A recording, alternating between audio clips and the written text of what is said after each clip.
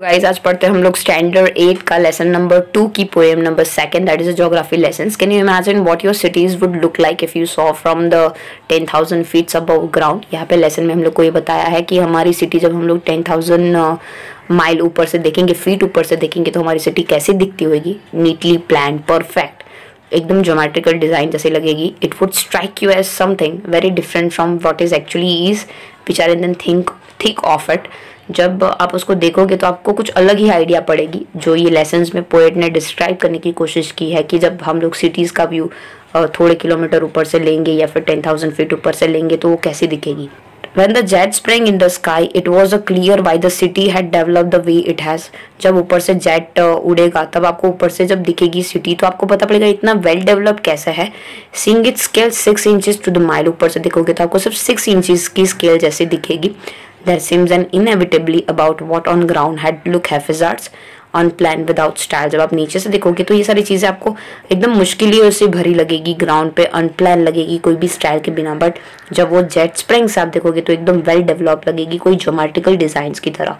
When the jet springs 10,000 feet, it was clear why the country had uh, cities where the river ran and the why the valleys were populated. जब springs आप देखोगे jet से सबको पता पड़ेगा country कितनी clear है river कैसी जा रही है और कितनी वैली एकदम पॉपुलेटेड है, कितने सारे लोग वैली में रहते हैं। Logic of a geography the land water attracted man was clearly delineated और आपको पता पड़ेगा ऊपर से देखने के बाद कि मैन जो कितने सारे लैंड और वाटर के साथ अट्रैक्टेड है दैट मीन्स वो वहाँ उसके नज़दीक रहता है। When the jet reach the ten thousand feet ये सब चीज़ आपको तभी देखने को मिलेगी जब जो जेट है, वो टेन थाउज़ेंड फिट ऊपर होगा। When the jet rose six mile high अभी और सिक्स माइल ऊपर जाएगा जब jet it was clear the earth was round तब आपको पता पड़ेगा जो अर्थ है वो ग्राउंड है. And that is had more sea than the land sea ज़्यादा है लैंड की कंपेरिजन में लैंड कम है.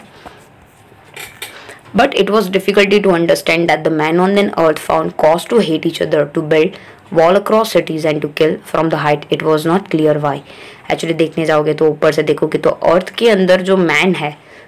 वो सब आपको सिमिलर दिखेंगे, लेकिन आप नीचे आओगे, जब लैंड पे आओगे तो आपको पता पड़ेगा कि लोगों को कितनी डिफिकल्टी है मैन है, कितना ज़्यादा हेट है एक दूसरे के प्रति, और उन्होंने बाउंड्री क्रिएट कर ली है कंट्रीज़ टू कंट्रीज़ और लोग एक दूसरे को मारने के लिए टुले हैं, लेकिन जब भी ये सीन ऊपर से देखते हैं तो ऐसा लगता है कि मानो सब के सब एक ही रंग में है, और वहाँ पे कोई भेदभाव नहीं है। ये लिखा है जुल्किफ कर गोज ने।